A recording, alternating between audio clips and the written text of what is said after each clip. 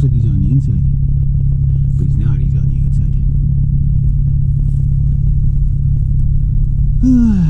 well, hump day. It's hump day. Halfway through the week here. So much rain, look at our road. There's like grass growing on our road. Uh, a little bit of a washout over there in Toronto. Uh, I guess their storm drains or whatever back flooded. Couldn't handle the deluge. Yeah, I got my raincoat in here. Better have my raincoat in here. If I don't have my raincoat in here, it's gonna be a really, really miserable day. And uh, chainsaw day. It's gonna be. A, I'm gonna be very sore by the end of the